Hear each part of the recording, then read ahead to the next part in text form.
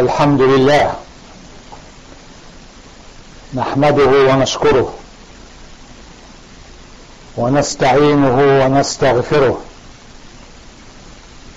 ونسأله خير الدارين والصلاة والسلام على رسول الله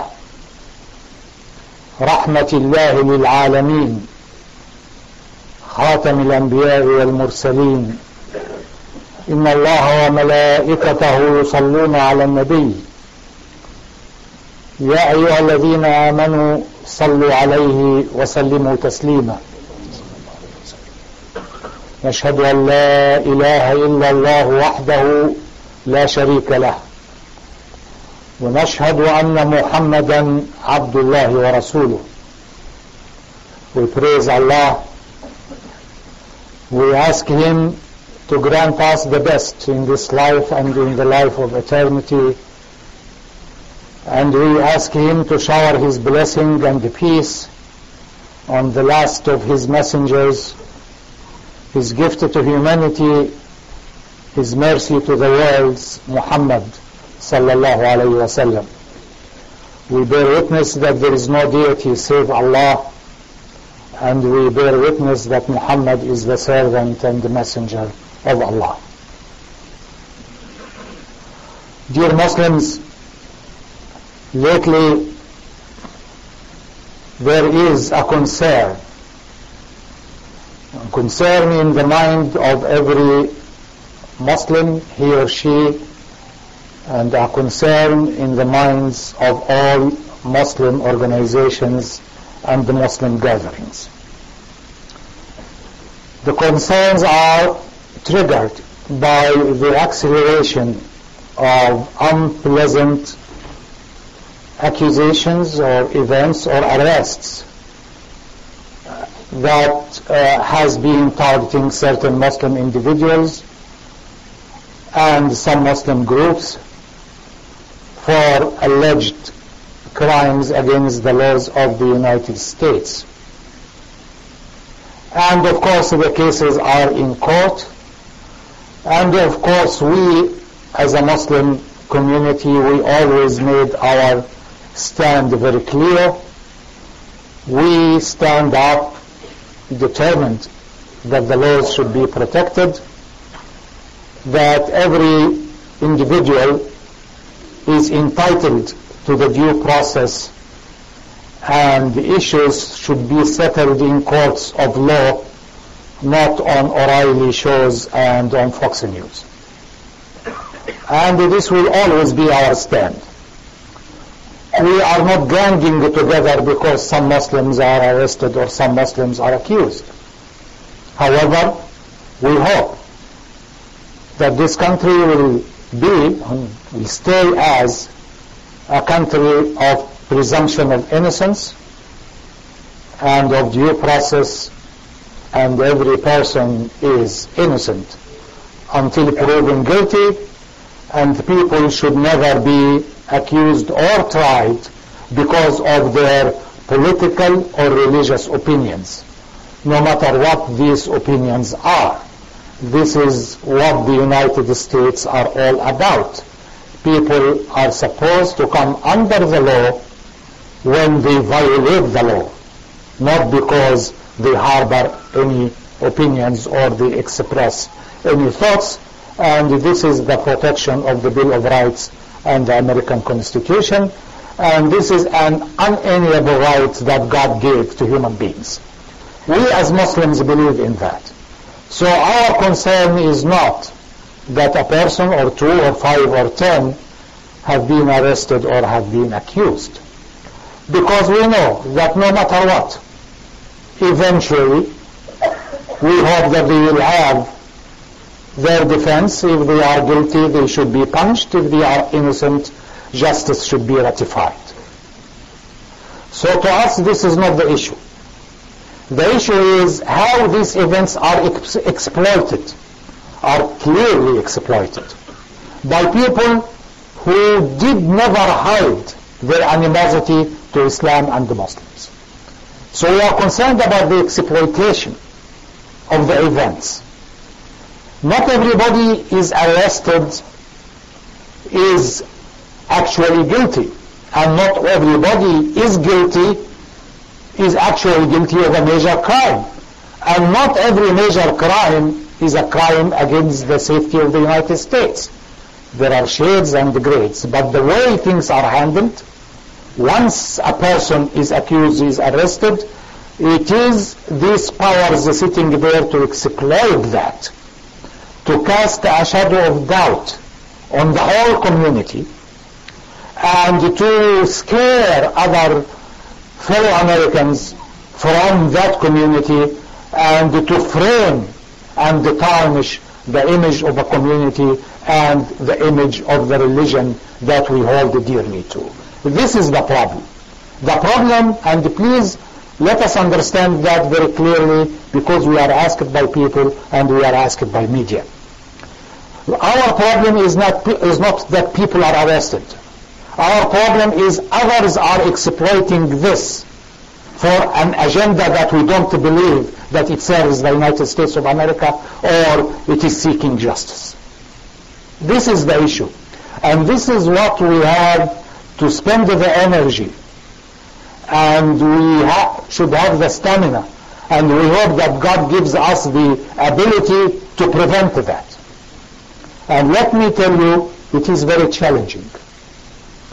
At this stage of our evolution and of our development, we don't have the same loud voices and the same uh, kind of uh, media outreach that will make things uh, set on the right track.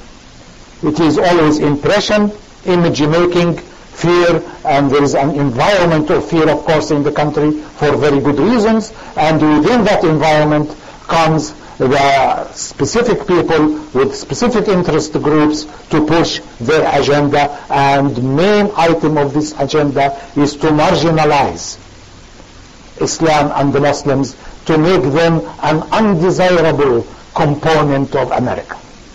And we knew anybody who lived through or read the history of this country that once a group is labeled like that, the prosecution of this group becomes very easy.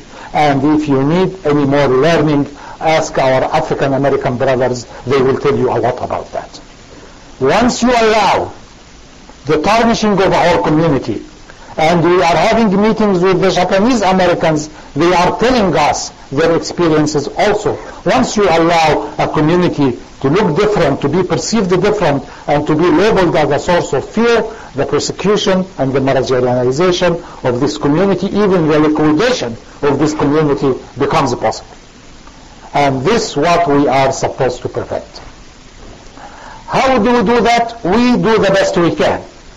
It needs skill, it needs cool thinking, it does not need anger or emotions, it needs healthy debate, it needs logical discussions, and it needs lots of research and studying, etc. And Allah knows that we, we're doing the best we can and we, we need each other's help on that. But what we need more than that, or before all of that, is certain amount of spiritual integrity, health, and power. We need to be spiritually strong, feeling that we are close to Allah subhanahu wa ta'ala. And when I say that, I'm, I'm not saying that we have a problem, let us go and have a spiritual trip. No. I'm saying all of things ought to be done and to be studied, but we under the current equation will not be able to perform the way the issue is challenging to us and to match that challenge without really being very close to Allah subhanahu wa ta'ala. So it is not a side issue or diversion from the practicalities to talk about being close to Allah subhanahu wa ta'ala because only through that we can have the courage, we can have the stamina. As a matter of fact, we can have the intelligence and the vision and the clarity that will enable us to do the work that we need to do. This is why it is our duty now to look, and Alhamdulillah, Allah did not just leave us alone, and the Quran did not uh, become silent on issues like that, he gave us the very clear guidelines how to be close to Allah subhanahu wa ta'ala.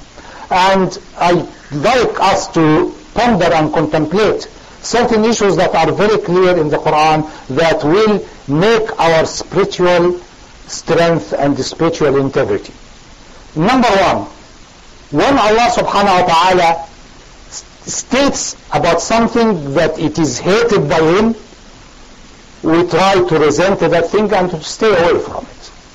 When the Quran tells us that Allah subhanahu wa ta'ala loves something, we try to get as close to that as possible and we try to do it. This is logical step, ABCs. It does not need uh, a, a mullah or, or a alim or a mufti or anything. It needs that me look into the Quran and see the directions that Allah is giving to every man and woman sitting here now in this hall and to every man and woman who believes in Allah subhanahu wa ta'ala and Muhammad sallallahu alayhi wa sallam see it very clear. And we find it in Surah As-Saf. For example, يا أيها الذين آمنوا لما تقولون ما لا تفعلون كبر مقتا عند الله أن تقولوا ما لا تفعلون. Clear?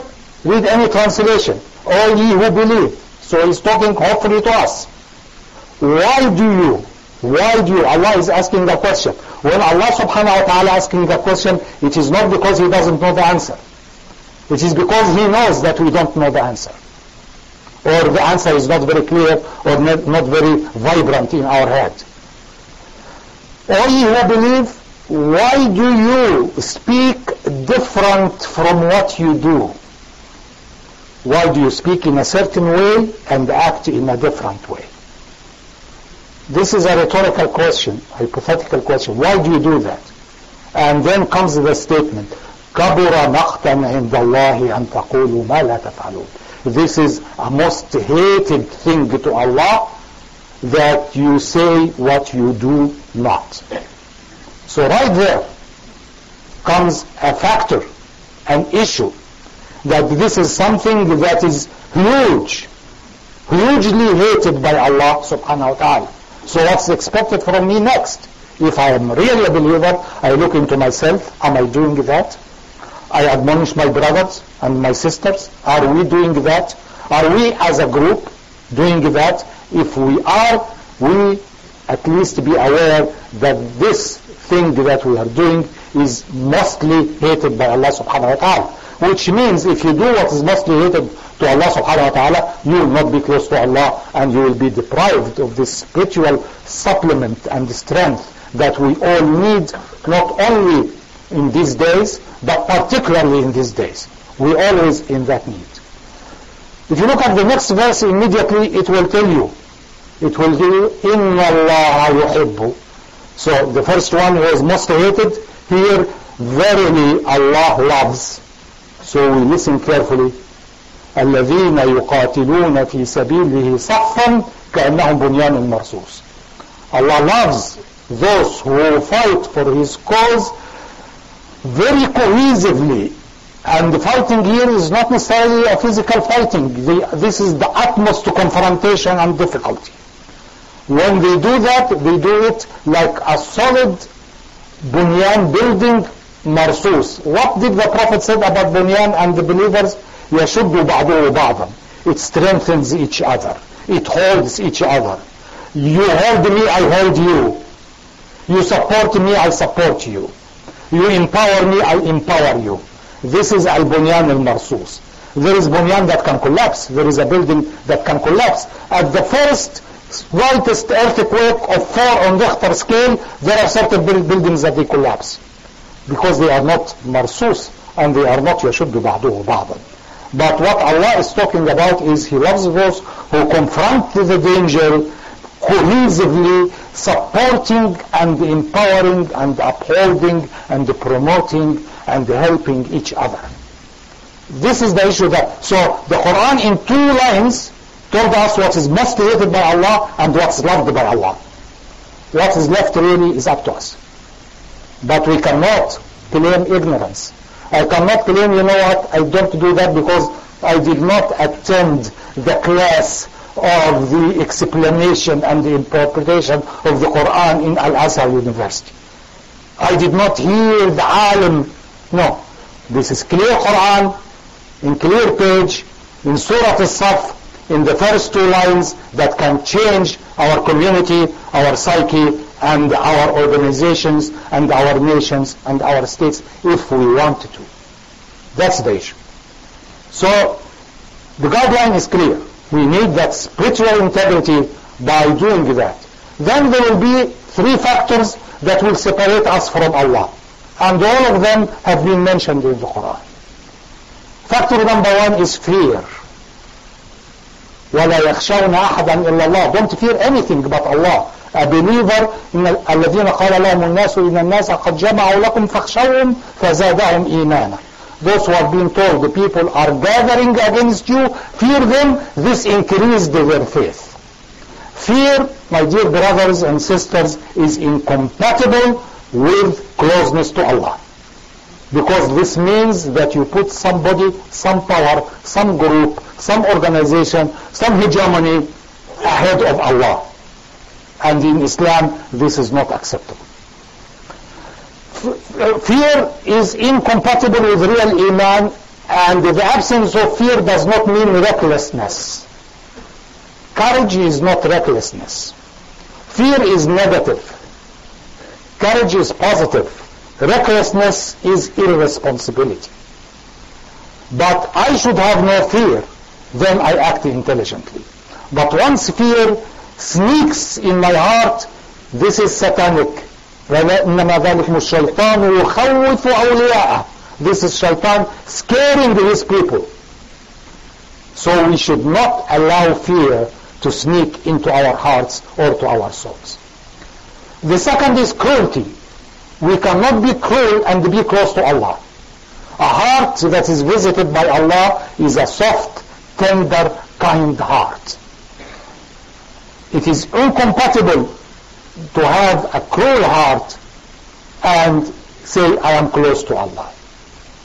And it is explained in the Quran right and left. قست قلوبهم فهي كالحجارة أو أشد قسوة. Their hearts become hardened like rocks or even harder. The third factor is despair. To give up.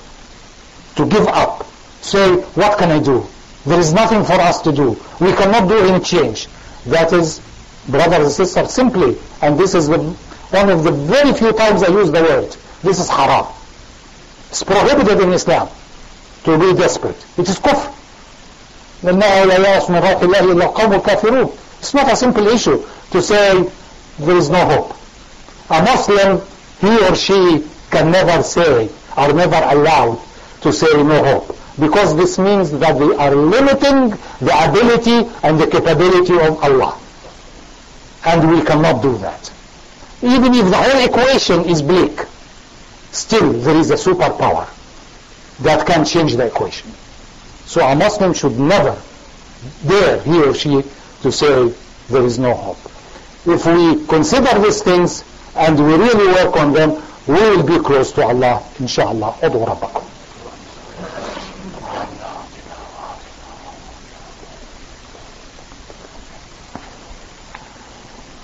الحمد لله رب العالمين نحمده ونشكره ونستعينه ونستغفره والصلاة والسلام على رسول الله My dear brothers and sisters in Islam, we need that spiritual power and we need that closeness to Allah, that awareness of Him, that awareness of Allah that's called taqwa. It does not only make you feel good, it actually, and we better understand it, according to the Quran, it makes you perform good. It gives you leeway and a way out of difficulty. ومن يتق الله يجعل له مخرجا it gives you a release whoever is aware of Allah Allah will make a way out for that person so it is a practical thing it's not only a very dreamy uh, spiritual feeling it is a practical thing it gives us intelligence and knowledge اتقوا الله ويعلمكم Allah. You become aware of Allah, He will educate you. Allah will, will inform you. So on the practical, when we talk about closeness to Allah and awareness of Him, it's not that we are divorcing the mundane issues and the maneuvers and the studying that we need to do. No, on the contrary. I am getting unlimited fuel, unending energy, ever eclipsing light that will enable me to see through and to walk safely amongst people. جعلنا له نورا يمشي به في الناس. It's a light that you can deal with people through.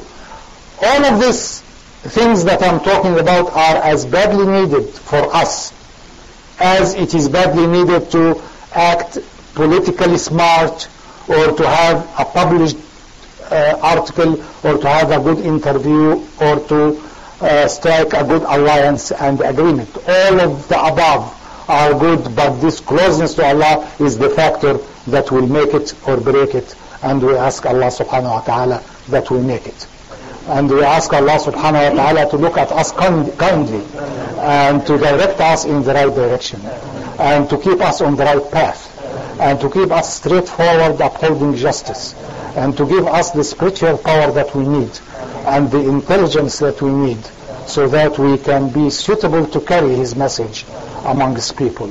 اللهم اغفر لنا وارحمنا وعافنا واعف عنا وتولنا وتب علينا وانصرنا اللهم نصرا عزيزا وصل اللهم على محمد أقم الصلاة.